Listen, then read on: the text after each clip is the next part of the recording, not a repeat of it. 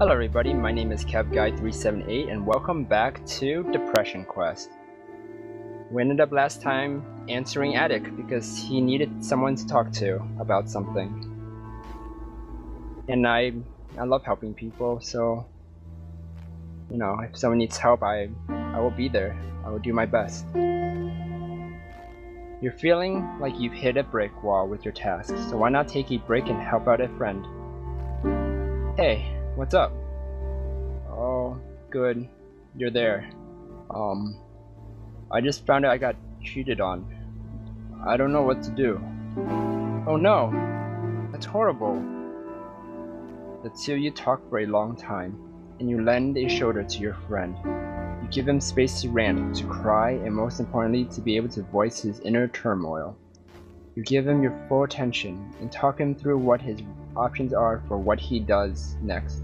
You keep him from doing something rash, and the two of you decide it's best for him to sleep on it before doing anything.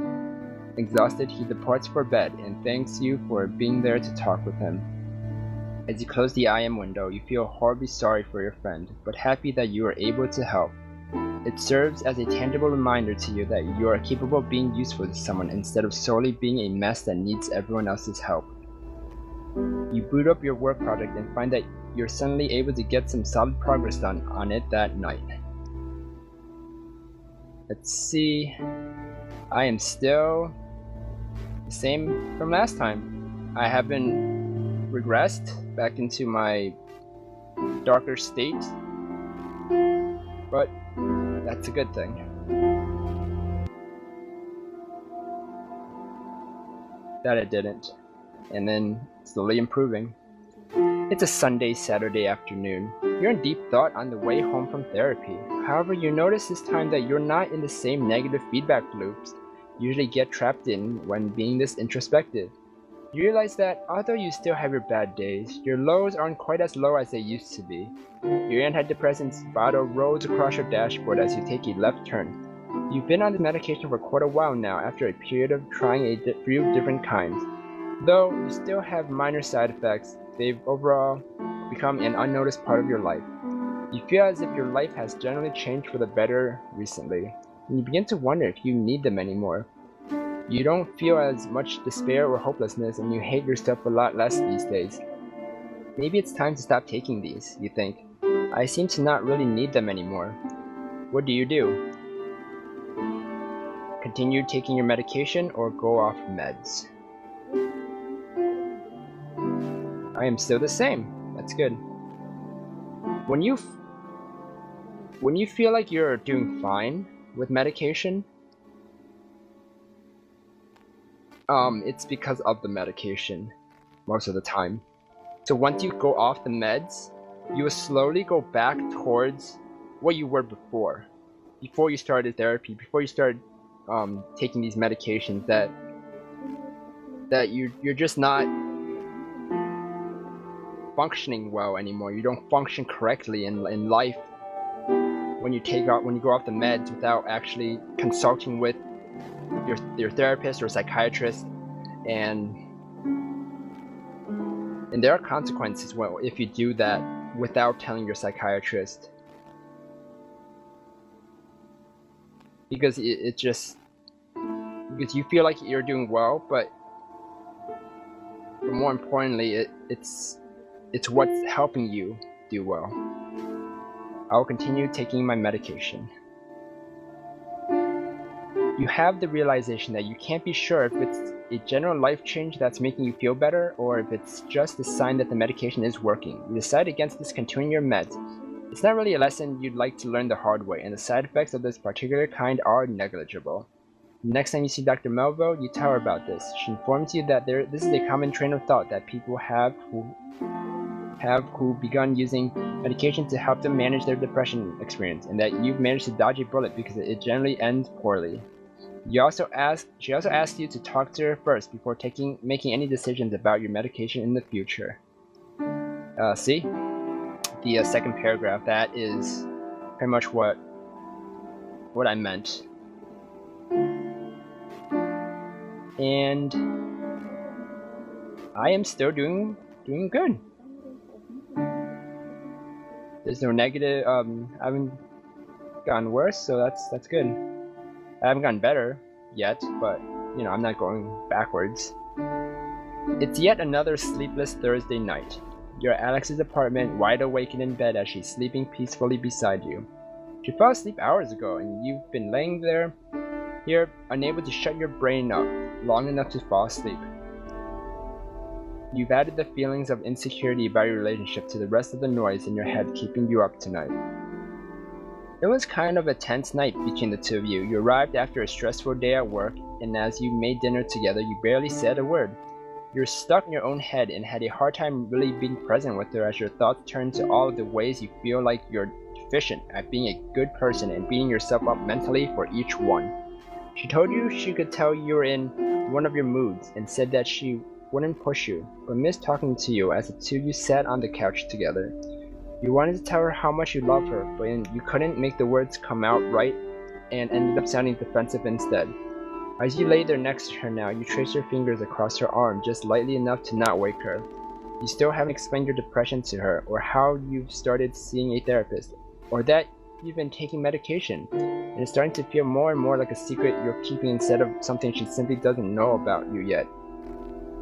It's becoming more and more apparent that it's impacting your relationship with her, and you feel guilty about this. However, you're also terrified that if she knew exactly how fucked up you are, that she would leave you. You're already worried that she's only with you because she doesn't realize how terrible of a person you are yet. And you're afraid that this would be the final thing to expose you. She stirs in her sleep and squints as she opens her eyes. With the confusion that comes with waking up, she asks you if you're awake and then if everything's okay.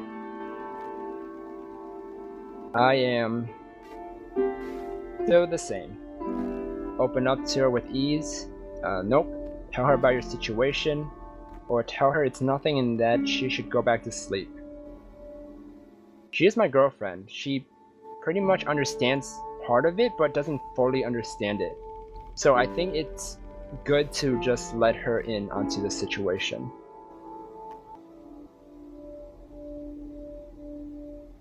You feel like a jerk for accidentally waking her up but you're afraid if you put this off any longer that you won't find the strength to tell her everything later.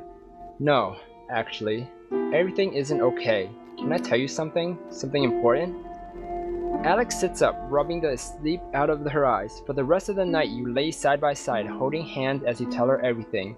You tell her how it's more than just feeling sad sometimes, how you feel trapped by your own mind sometimes, how sometimes you feel nothing at all, how you can't shake it off. You tell her how you started going to therapy, how you feel embarrassed about it, and how it's working out for you. She listens the entire time, occasionally asking questions about how this or that works or asking you to explain something further. She squeezes your hand and tells you she understands, and that she's sad you didn't tell her sooner. After laying silent for a while, for a moment, the weight of what you did hits you. You desperately want her to say something, to tell you how she's feeling about all of this, but you're too afraid of what the answer would be to ask. You start convincing yourself that now that she knows everything, she's going to leave. There's no way someone could deal with how you really are. So how can I help? What do you need me to do? She asks. You think for a second, and the answer you come up with fills you with despair. I honestly don't know. I wish I knew how to fix this, but I don't know that you can do anything. I think it's something I just have to live with. She looks at you with sad eyes before kissing you on the forehead. Then, I'll live with it with you. I don't know how you could possibly love me. She rolls over and wraps her arms around your neck, setting, settling her, neck, her head on top of yours. You don't need to, just know that I do. Oh, I said that. I don't know how you could possibly love me. You are doing well, you may still have your bad ways, but you now have effective ways to deal with them and you don't get nearly as low as you used to, or for as long. You still visit your therapist and even she has remarked on how much more alive you seem lately. You are taking medication regularly and are pleased at how well it seems to be working. I am doing awesome now. I'm doing great. I am doing so well. I'm so glad I told my girlfriend that.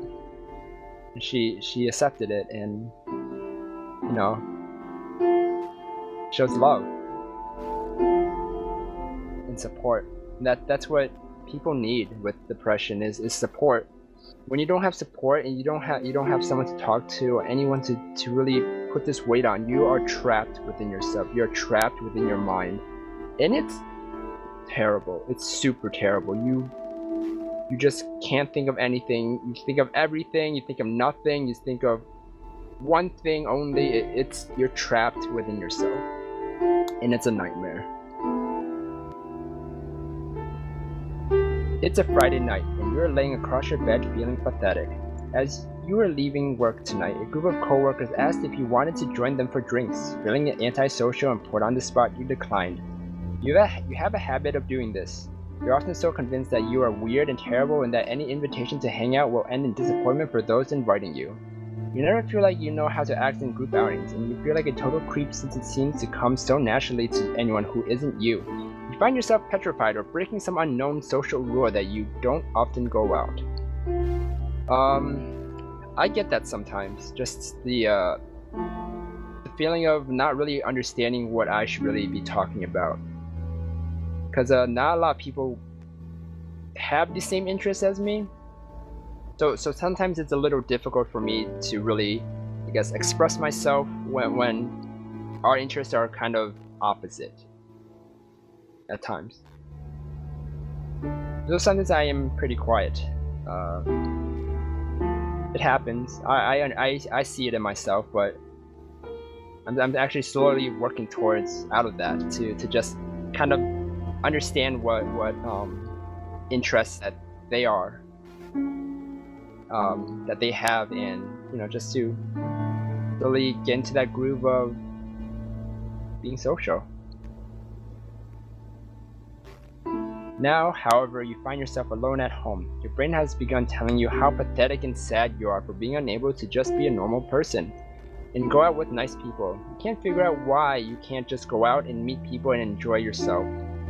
At the same time, you're also feeling like no one would possibly want you, you to hang out if they really knew you, because you're dull and weird anyway. You try your typical strategy and boot up Netflix to distract yourself from these feelings. But frustration with yourself builds, and you realize you have to do something else with your night. Anything else to take your mind off of how awful and lonely you feel right now. What do you do? Get over it and go out to the bar where your coworkers are hanging out anyway. See Attic, see if Attic is online, call Alex, drink, go out somewhere alone, play with your cat. I am doing the same. Doing good. I did just talk to Alex about this and I don't think. I mean, Attic um understands it kind of because he you know he looked up stuff on Wikipedia and and stuff um in the past. So, I mean, he he'll be someone to talk to, but if I'm gonna do something, I might just go out and be with act like actually actually be physically be there with someone. That's what I'm trying to say. I'll call Alex. You dial Alex's phone number, figuring that if you could spend some time with her instead of being cooped up in your apartment alone, you might feel less isolated. Her phone rings a handful of times before going to voicemail. You know it's not uncommon for her to be out with friends at this hour. You leave a voicemail but end up calling again 15 minutes later, still no response. You imagine Alex out with her friends, much like you would be tonight if you weren't so horribly at horrible at socializing. Your mind wanders and you start to wonder what who she's with if she might meet someone tonight she'd rather be with. Someone who is able to go to parties like this with her instead of sitting at home feeling sorry for themselves. Why didn't she invite you? Have you just said no one too many times? How many other Fridays have you unknowingly missed? You begin to think that maybe it would be better if she met someone tonight.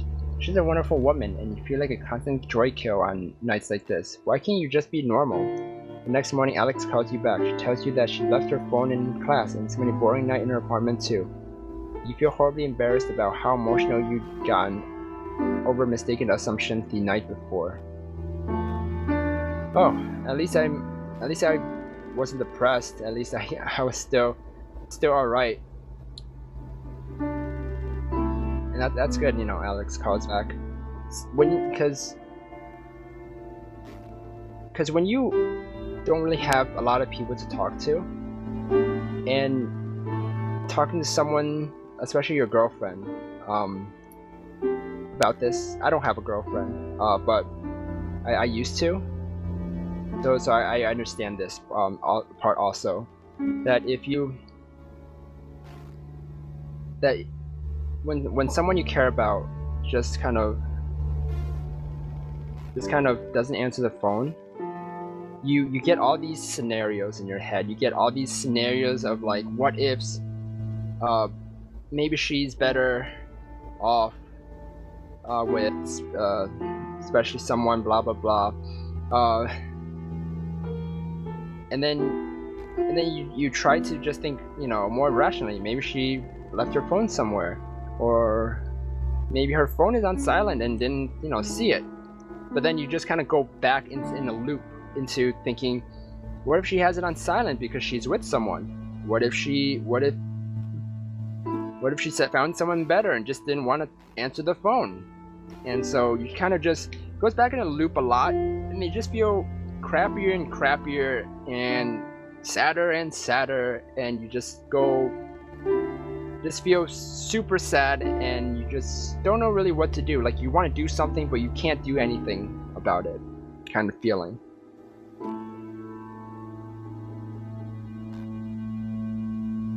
So I understand what this what um what this person is feeling in uh, this game.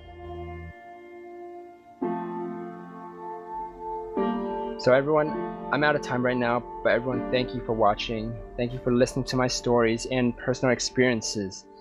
I hope you can share this with someone who has depression and just let them know that someone, someone out there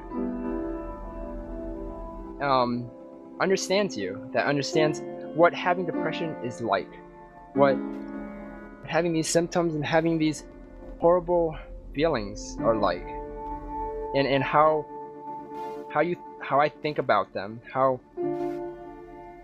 how people think about things while they are depressed, and um, I wish you that you guys can just share this and just let let someone know close to you know that that it's not it's not bad to tell someone. It's not the end of the world if someone knows about this.